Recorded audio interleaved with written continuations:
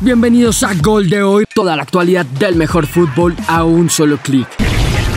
Se estrenó la miniserie documental de Neymar Jr. en Netflix, Neymar el Caos Perfecto, donde habla de algunos altibajos en su carrera y su vida personal. Una de las confesiones más relevantes y que hoy es noticia es la de su deseo de regresar al Barcelona estando en el PSG. Recordemos que Neymar llegó a París en el 2017 y su relación con el Barça no quedó de la mejor manera. Ambas partes entraron en conflictos legales por diferencias de pago a la hora de su salida y aun cuando estos problemas no se resolvían, en el 2019 desde la prensa se hablaba del deseo del jugador de volver al Camp Nou y las negociaciones entre ambos clubes. La noticia nunca fue confirmada por el mismo jugador hasta ahora y así habló Ney sobre el tema. Cuando tomé la decisión de irme del PSG no fue por un hincha o un club, es porque vi que me sentía mejor en otro lado. Nunca tuve nada contra la afición del PSG ni contra el propio club. Aunque no quería seguir, debía entrenar y estar preparado porque si jugábamos mal todos me culparían a mí. Si perdemos soy el primer responsable.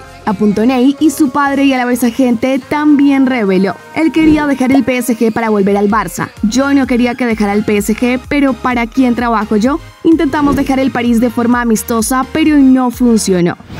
Cada vez falta menos para que el bombazo en Italia se oficialice. El traspaso del delantero del momento en la Serie A, Dusan Blajovic a la Juventus, está cada vez más cerca, pues la Fiorentina ya tiene su reemplazo. Se ha movido rápidamente para llevar a un delantero y según apuntan desde Globo Esporte, el acuerdo con el Basilea por el brasileño Artur Cabral es todo un hecho por 16 millones de euros entre fijos y variables. Así las cosas, la plantilla de la Juve se prepara para la inminente llegada de Dusan, un hecho que puede afectar a algunos jugadores como Paulo Dybala, pues el club necesita reducir su masa salarial. El argentino que sigue sin renovar tendría un ultimátum por parte del club, según informó el Corriere dello Sport. O renueva rebajándose el salario o le abren totalmente las puertas de salida.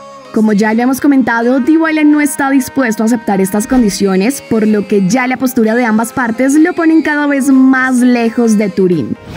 Un traspaso más entre clubes de la Serie A es todo un hecho. Robin Cousins llega al Inter de Milán procedente del Atalanta en forma de cesión con obligación de compra por 25 millones de euros. La firma se hará en las próximas horas. Continúa el culebrón de Usman Dembélé. El club pidió oficial y públicamente su salida, pero aún no se define cuál será el futuro inmediato del jugador, pues su agente continúa trabajando en ello. En medio de esta situación, un pretendiente podría entrar a tomar protagonismo, el Chelsea de Tuchel que estaría contemplando la opción de incorporar al francés en esta segunda mitad de temporada, según apunta el diario Mirror en Inglaterra. Sin embargo, este no sería el único club interesado y el bombazo se dio desde España. El agente de Dembélé su llegada a Barcelona fue captado por las cámaras y precisamente en ese momento recibió una llamada de Leonardo PSG. Por supuesto, esto da a entender que Sissoko estaría en conversaciones con el poderoso París. Anthony Marcial ya firmó su sesión en el Sevilla, hoy fue la presentación oficial en el Ramón Sánchez Pizjuán y en la conferencia de prensa el francés afirmó, mi sesión al Sevilla es válida para los próximos cinco meses, final de temporada, pero nunca se sabe lo que pasará en el futuro, ya veremos. Manchester City y River han llegado a un acuerdo por el delantero Julián Álvarez. De acuerdo a la información de Fabrizio Romano, el acuerdo ya es todo un hecho. El City paga 18,5 millones de euros por su nuevo jugador en este mismo invierno, pero el argentino quedará cedido en River hasta final de la temporada. Julián firma contrato hasta junio del 2027, pues con 21 años es considerado una estrella para el futuro en el conjunto Citizen. El Wolverhampton ha hecho efectiva la opción de compra por el delantero surcoreano Hee Chang, que estaba cedido por el Leipzig. Pagan 15 millones de euros y firma hasta julio del 2026.